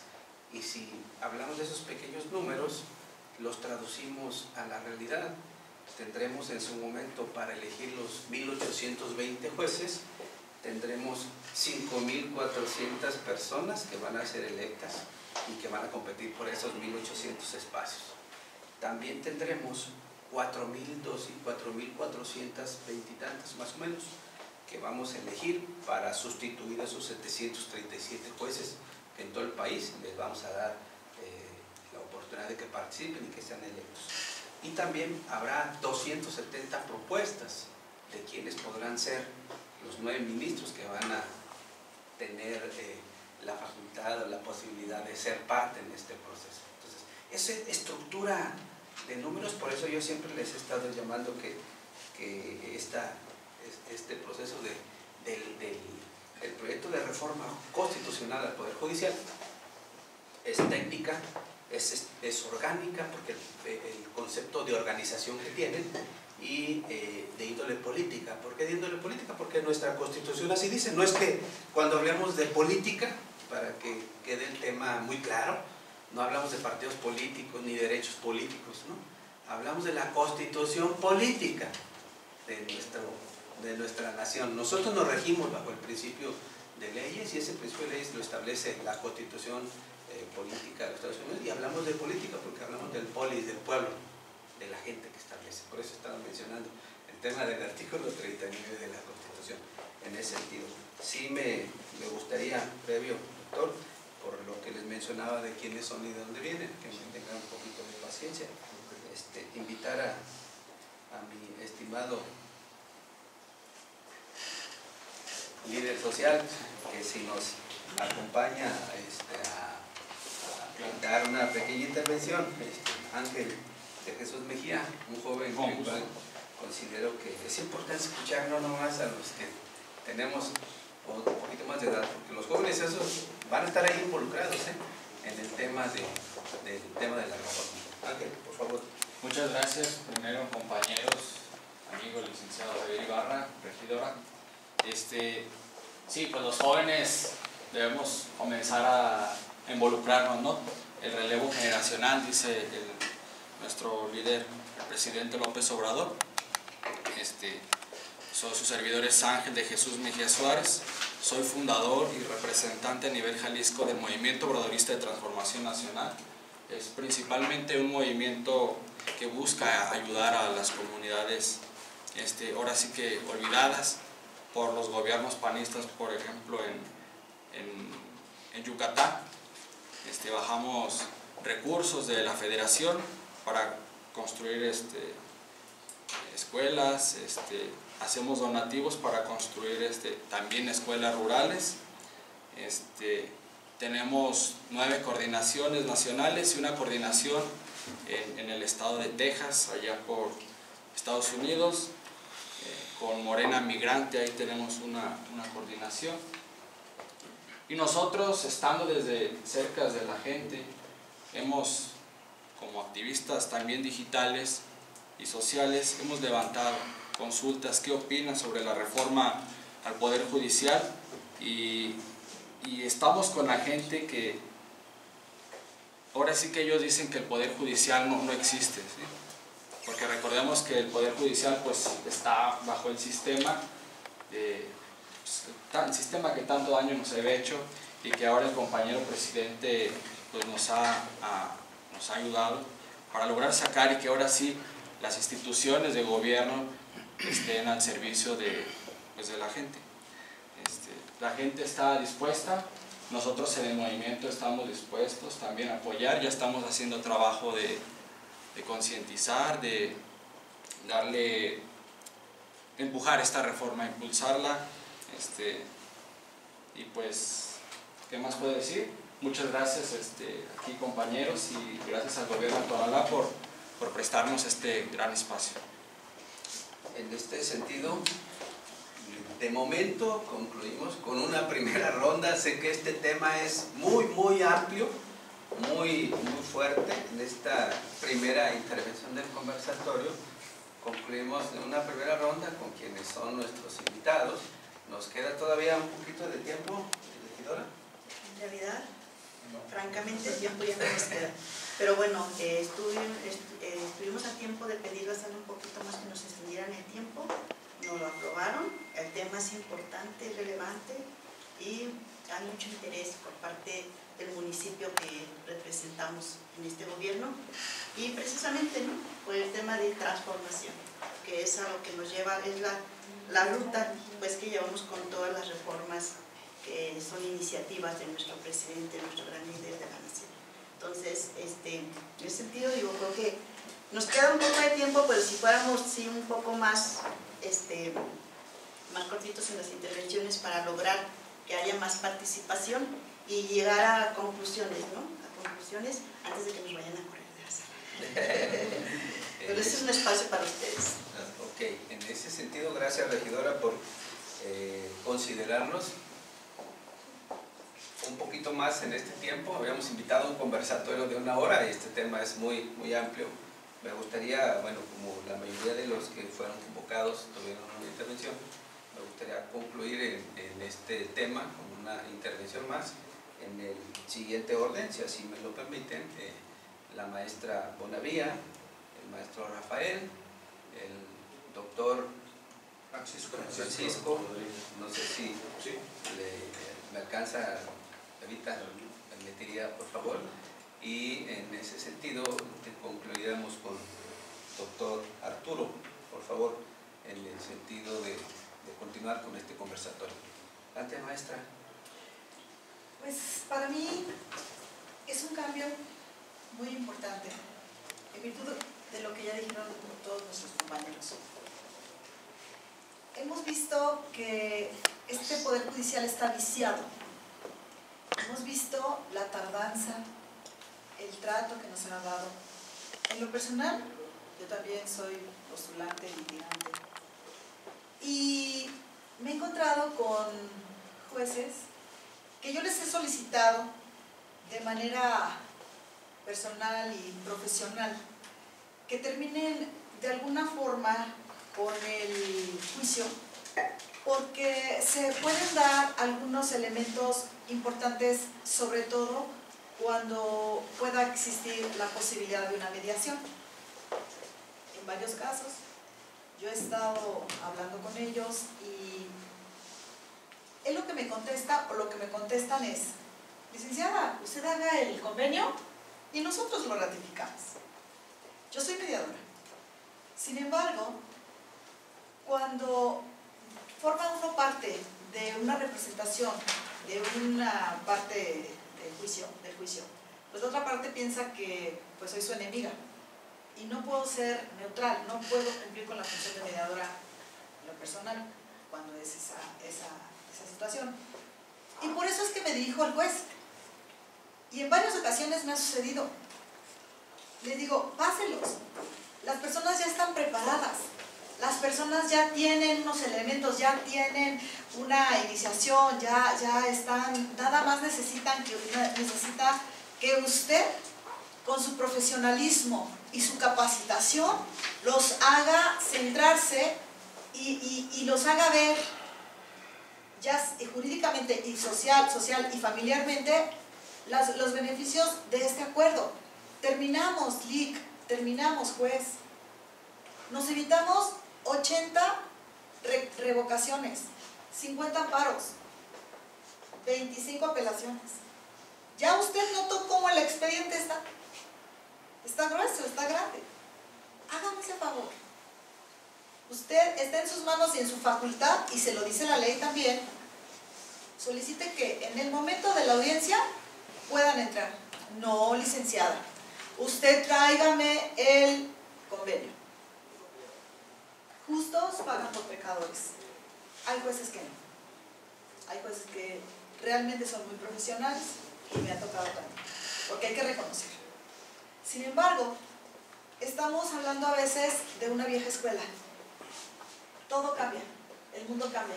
En la pandemia se movió el mundo. En la pandemia nosotros sentimos y nos adaptamos a esta transición que fue muy rápida. El Poder Judicial inclusive ya tiene medios electrónicos. ¿Por qué no hacer una reforma? ¿Por qué no mejorar? ¿Por qué les da miedo el cambio? No les da miedo. Ya lo dijo el presidente del Supremo Tribunal de Justicia del Estado de Jalisco, que en un momento dado, pues si los destituyen, también hay medios para defenderse. Inclusive, no nada más medios nacionales, sino internacionales y que se han ganado inclusive juicios o resoluciones o sentencias a favor de las personas que pues van a ser destituidas del cargo. Entonces, yo felicito de verdad a las personas que pensaron en este cambio. Es bueno, como dice la maestra, es bueno siempre, siempre cambio. Sé que hay gente profesional, sé que hay gente que va a estructurar y que vamos a tener una nueva organización mediante la cual se le va a dar la oportunidad a verdaderos profesionistas o profesionistas muy preparados. Yo soy testigo de que existen y estoy muy complacida por esta nueva reforma. Es cuanto. Gracias. Gracias, maestra. Igual, maestro Rafael, por favor. Gracias. Yo, yo quiero agradecer a todos, en especial al presidente Sergio Chávez y por la premura del tiempo quiero ceder el uso de la voz al maestro, por favor, para que alcanzar a todos y tener esa oportunidad. Favor. Dicen, siempre que los abogados nunca dejamos de ser excelsos. Somos abogados en todo tiempo y lugar y siempre buscamos el principio de leyes, que es el principio de la justicia, del piano dar a cada quien lo que le corresponde. Principio básico y constitucional en todas las leyes del mundo. Adelante, doctor. Gracias. Gracias a todos. Este, es laudable estar aquí con todos ustedes y un honor. Eh, creo que es muy generoso de su parte la apertura y la inclusión para escuchar este momento histórico en el que vivimos, que les puedo decir a todos que no debemos dejar de perder de vista que eh, eh, estamos en un proceso de madurez donde somos el reflejo de la Constitución de 1857 y de la primera Constitución Social del planeta, que fue la de México en 1917. Esa Constitución se caracterizó por la inviolabilidad, por el patriotismo, por la pulcritud del respeto a la misma y por la dignidad humana. Todos estos aspectos fueron violados flagrantemente por el neoliberalismo. El Poder Judicial se convirtió en una casa de apuestas, en un casino, donde el que tiene dinero, independientemente si es de arriba o de abajo, el que manda es el billete, el interés lucrativo, por encima de la justicia, violando los 30 derechos humanos, violando el orden constitucional y el Estado de Derecho. Eso incide en traición a la patria. Es evidente las, los señalamientos al Poder Judicial. Nadie se los hace, ellos solos los fabricaron.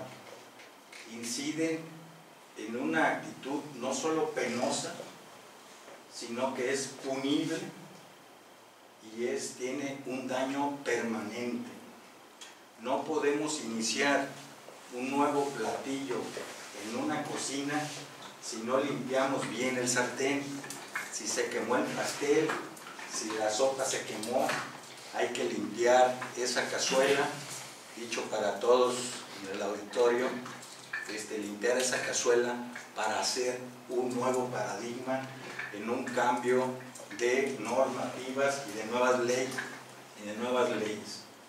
Esto significa que ese arranque que se pretende con la reforma judicial debe de partir del castigo severo a las faltas administrativas de la Suprema Corte de Justicia de la Nación con respecto y en lo particular a la desobediencia constitucional está ejerciendo unos ingresos que la propia Constitución o la ley no estima. Eso es fundamental. Este cambio de paradigma lo está haciendo el poder del pueblo, encasilló y encorraló al neoliberalismo para que lleguemos a este momento que no debemos de perder de vista, que se trata del obradorismo, de dignificar a los héroes patrios, a la patria y a la dignidad humana. Entonces eso cierra una cuña y abre un nuevo horizonte en, una, en, un, en un nuevo humanismo, porque se trata de eso. Yo diría que, que no se pierda de vista que si se le van a, a elegir los jueces, magistrados y ministros que ya están, ah, perfecto, que se consigne aquí su nombre y apellido, el distrito en el que está y que se le ponga ahí en qué tribunal está y de las 500 sentencias que tiene, de los 500 expedientes, ¿cuántos ha resuelto? Imagínense, si tiene mil, que se diga, nomás ha resuelto 10. Pues en automático el pueblo de México va a decir, ese juez está esperando la negociación, ese juez no está procurando justicia, no está dándole celeridad, no es eficaz ni es eficiente. Entonces que se coloque el porcentaje de sentencias. Luego, que se sepa el porcentaje de las sentencias que hizo, cuáles se descubrió que no tenía razón. Eso también es muy importante. Es decir, imagínense, de 10 sentencias que llevó en casos penales a meter a un inocente a la cárcel, en 6 resultó que estaba equivocado, es un alto porcentaje de error. Entonces el pueblo de México quiere saber eso, lo que quiere es justicia. Este, por último, entonces les decía yo que se sepa de qué tribunal son, administrativo, penal, familiar, del trabajo, y este, para que este, eh, se tome eso en cuenta. Entonces, que esta reforma vuelva a colocar por encima de todo la inviolabilidad constitucional, donde no se pueda violar, porque se transgrede a nivel municipal en algunos sitios este, el orden constitucional, este, los códigos urbanos, ¿verdad? Y no es justo para las personas que están sufriendo del despojo de derechos constitucionales. Esa este, es mi, mi intervención, ¿verdad? Que el Poder Judicial tenga una verdadera autonomía.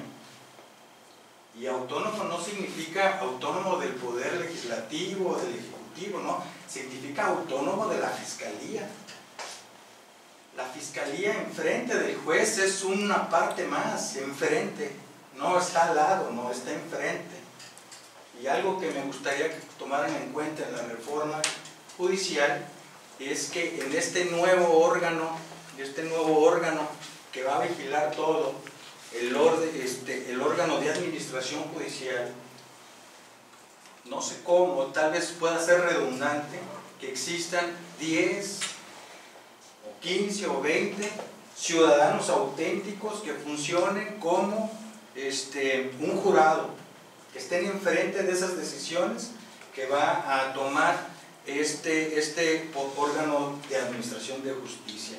Sé que es complejo, que eso pueda suceder en todo el país, en todos los tribunales, es lo deseable, pero podríamos empezar de arriba hacia abajo, ¿verdad? Bueno, este, muy agradecido nuevamente este, Javier Ibarra por, por este, esta inclusión. Gracias. Dice, eh, siempre, gracias doctor, sí. su intervención como la de la maestra Bonavía en el aspecto social generan un aprendizaje. Gracias. Puntuales sus, sus intervenciones, porque son ese sentir de, de, la comunidad.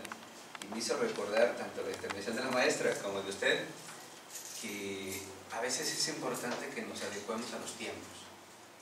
Decía hace muchos años en Proce de nuestra patria, cuando redactaron los sentimientos de la nación en ese momento los sentimientos de la nación tenían dos rutas.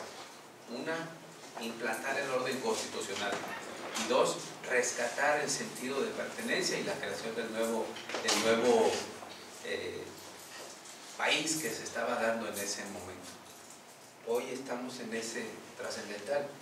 Y en aquel proceso posterior a la al nacimiento de la Constitución del 24 y después plasmada en la del 17, había en aquel tiempo un artículo que voy, voy a mencionar por eso, doctor, maestra, eh, a ustedes los, los veo como diciendo, hay que corten en la cabeza a todos esos, de alguna manera, porque es el sentir, pero eh, adecuándonos a los tiempos actuales, en aquel tiempo de la Constitución del 17 y los constituyentes que establecieron esa intervención, redactaron un párrafo, como lo mencionaba la maestra María, que, que, generaba controversia de manera internacional y que llegado a los tiempos con los tratados se modificó.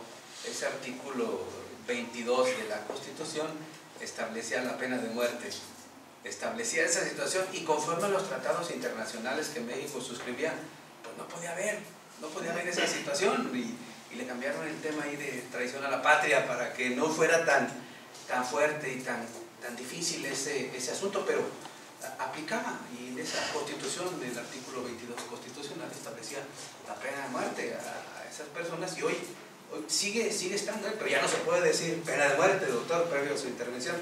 Hoy, hoy se dice de manera muy sí está establecida la pena de muerte, pero la pena de muerte política.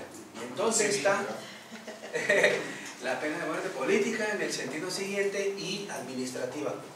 El artículo 95 de la propuesta de reforma de ley a, la, reforma constitucional presentada por, presentada por el Ejecutivo de la Nación al Poder, al poder Judicial establece en el artículo 95 un candadito bien sencillito, que es el que ha, generado el tema de controversia, porque ahí habla lo que decía el artículo 22 de 1917, en algo bien sencillo.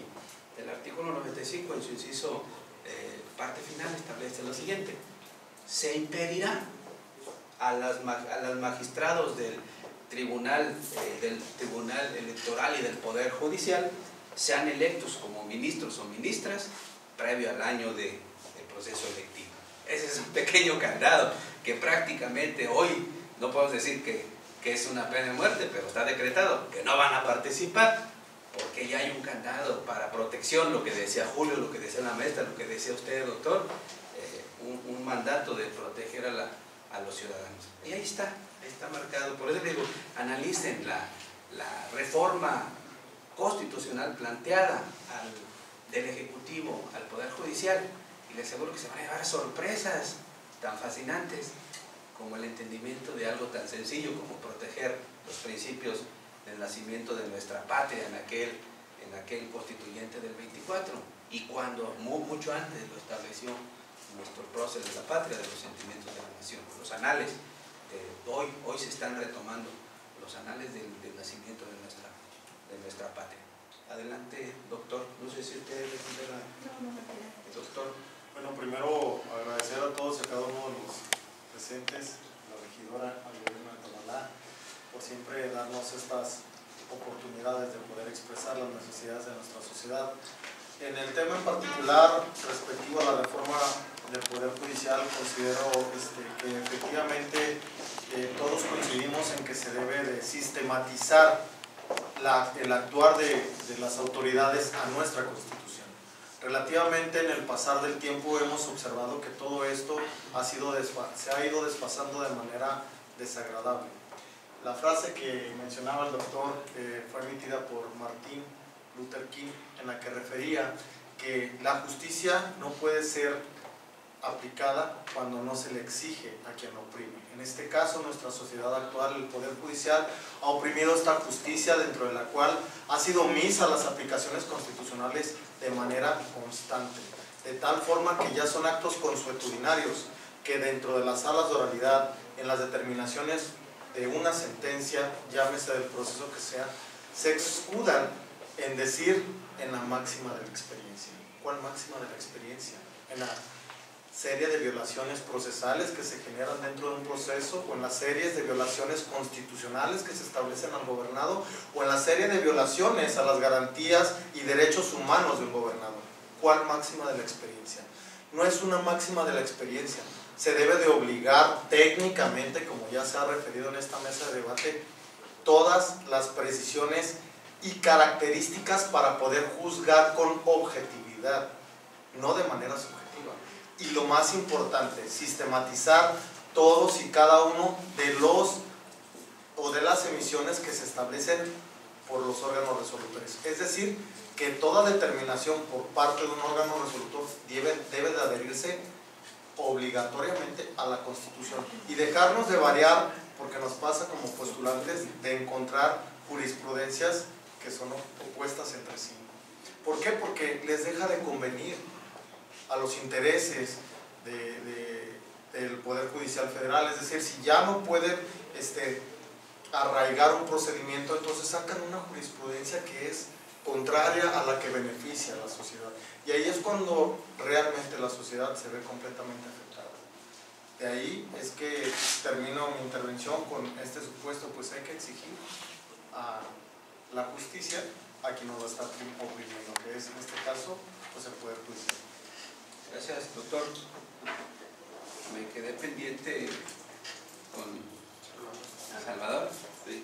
Además, creo que yo, eh, perdón, la intervención y la, lo coloquial de mi parte con él.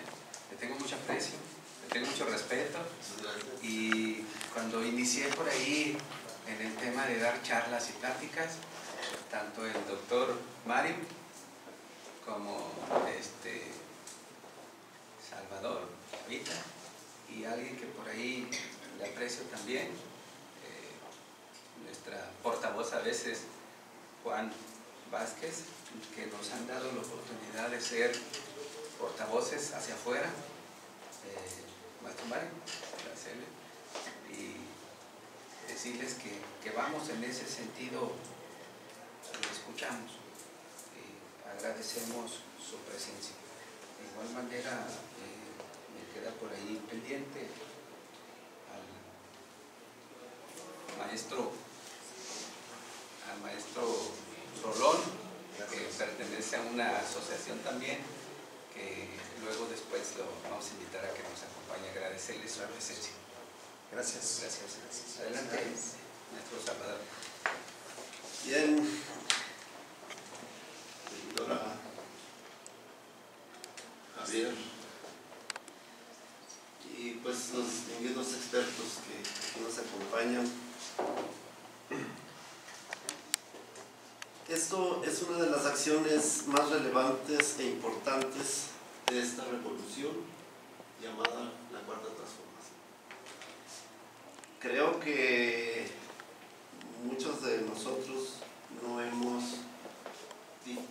dimensionado cuánto es, por eso digo revolución, una revolución es traspasar, es, como dijo el doctor, limpiar todo y hacer algo nuevo.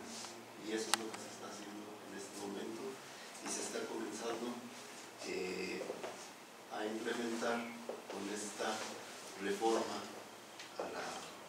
al Poder Judicial. Pues enhorabuena por el ayuntamiento yo estoy acá como un ciudadano porque creo que es de trascendencia fundamental para la convivencia y el actual dentro, de nuestra sociedad. Es muy importante conocer sobre todo eh, de los profesionales de las leyes y normas que aquí nos acompañan. Quienes nos dedicamos al análisis político debemos conocer y como ciudadanos participar en estos temas, como decía, fundamentales, pues afecta y son la base de todas nuestras acciones y participación política en la sociedad. Felicito al ayuntamiento, al licenciado Ibarra de nuevo y a todas las personalidades de esta mesa por el esfuerzo de esta participación. Después de todo, la política es eso y es la actividad, creo yo, humana que nos hace precisamente entes civilizados y humanos. La política es eso. Eh, mi intervención pues iba más dirigida hacia ese sentido. Mi opinión personal que quiero expresar eh, de esta, eh, que esta reforma debe de ser integral.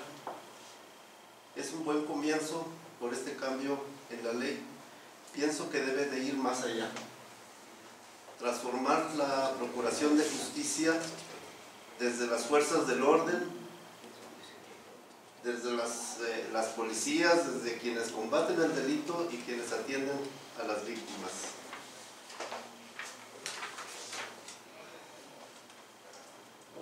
Y iría también más allá todavía porque creo que, que este es el inicio de eso. Todas las, eh, las, las transformaciones que se mencionan históricamente, la primera transformación, la segunda transformación y la, la tercera transformación, ahora la cuarta. O sea, la, la implementación de, del, nacimiento como país, después la reforma, luego la revolución y ahora esta otra revolución. Y todas tienen eh, un constituyente y una constitución. Creo que para que esto siga más allá, se necesita un nuevo constituyente, tener una nueva constitución desde, desde los principios. Y pues,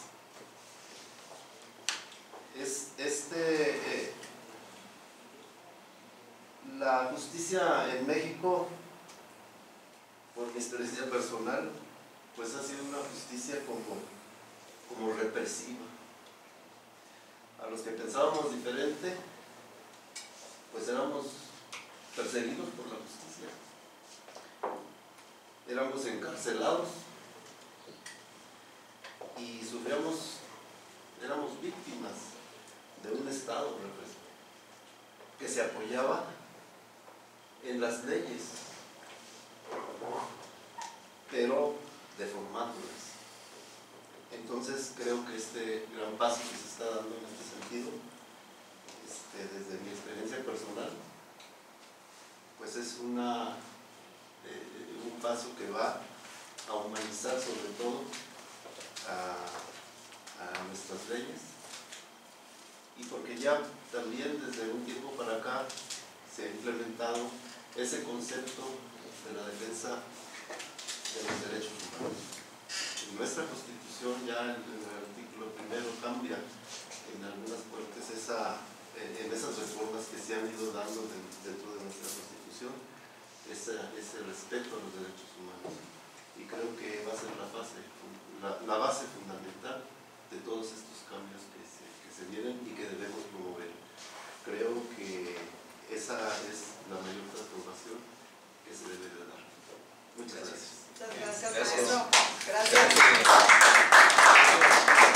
De, mi parte, agradecerles a ustedes eh, su presencia y previo a, que concluya eh, nuestra regidora Esther, me gustaría para que no dejemos de ser plurales y más que es el principio de, de. Eh, Mar, me gustaría que por el tiempo, aunque sea una pequeña intervención, además de que usted es una persona de muy alta capacidad intelectual. gracias por la...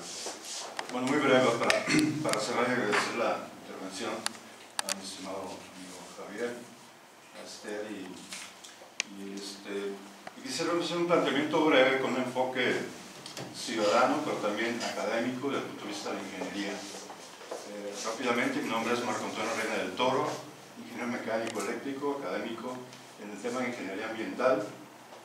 Y para mí esta reforma representa eh, desde el pasado, desde el punto de vista del medio ambiente, del tema de soberanía alimentaria, el tema del agua y la energía, un daño que espero que sea reversible, porque nos estamos enfrentando a una época de escasez de alimento, escasez del agua, escasez del territorio para cultivo, llegar con alimento. Entonces para mí es una expectativa alta en que esta reforma revierta el daño que se ha hecho histórico a los recursos estratégicos del país en algo que es clave, que es la sobrevivencia humana, que es el agua, el alimento, la energía, el medio ambiente. Entonces mi preocupación y ocupación como investigador, como inventor, puedo, este, quizás suene un poquito, este, espero que no suene muy atrevido, decir que soy inventor, en hacer aportaciones para la solución de los, de los grandes retos como humanidad nos, nos tenemos ya encima. Y creo que estas herramientas de, judiciales o legales nos pueden, las podemos utilizar a favor en revertir toda esta depredación y, este, y explotación de recursos naturales claves para la sobrevivencia humana. Entonces, como ciudadano, como académico, como investigador, pues eh, eh, agradecido que, que este, estos cambios, esta revolución que bien se menciona, represente también una, la palabra lo dice, una evolución nuevamente en el tema, tema ambiental, en el tema estratégico del ser humano en su conjunto. gracias. Gracias, Marcos. Déjenme, les comento rápido. Sabes que el tiempo ya está. Está muy grande el tiempo, pero les digo, dentro de, esa, de, esa, de ese tema estructural de la, de la reforma, quiero que les quede clara para los análisis ahí del tema del conversatorio. Lo que acaba de decir el maestro Mar es algo fundamental. Les digo rápido. De este periodo del 2012 al 2024.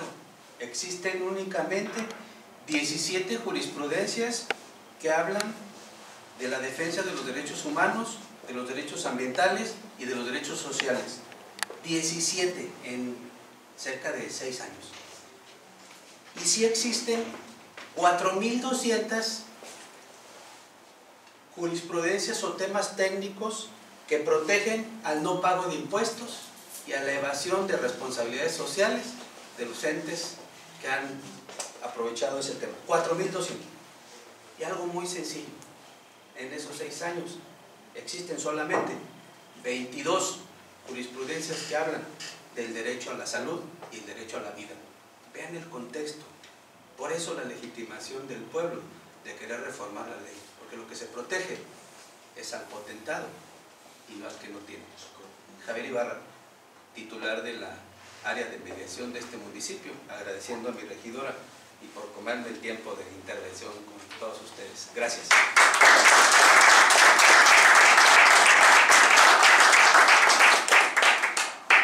Bueno, pues de mi parte nada más me queda agradecer la presencia de todos y cada uno de ustedes. Fue de verdad eh, un conversatorio mucho, muy importante para todos los ciudadanos. Se va a transmitir en redes sociales.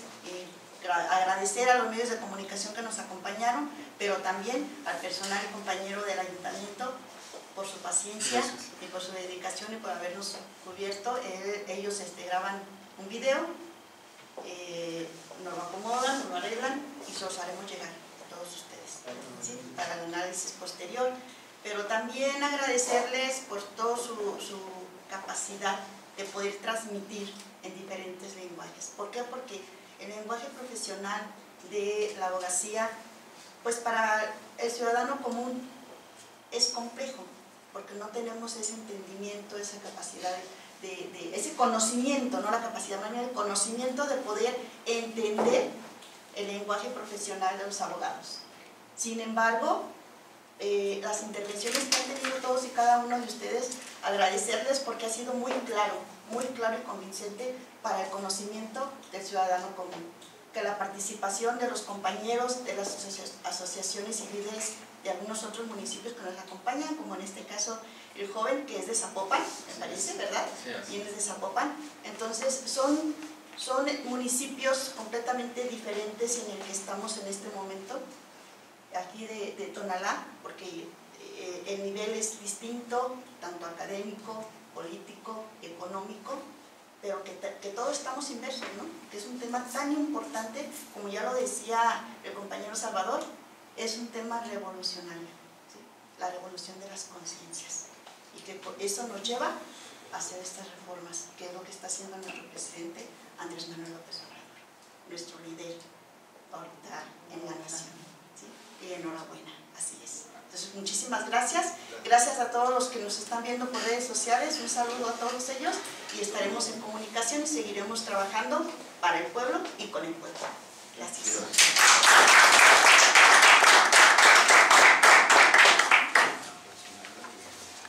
Asesores, compañeros que nos están acompañando, que, que nos acompañaron el día de hoy que son, además de otras áreas, pero estuvieron interesados en estar presentes y en ayudarnos y hacer equipo con nosotros. Gracias.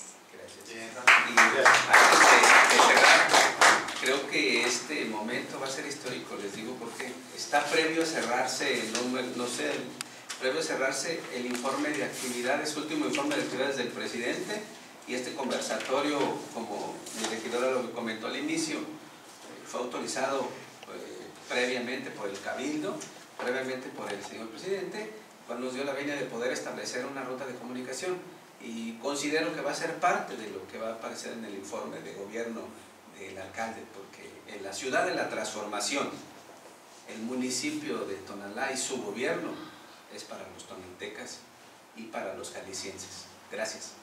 Gracias a todos. No se vayan porque vamos a hacer entrega.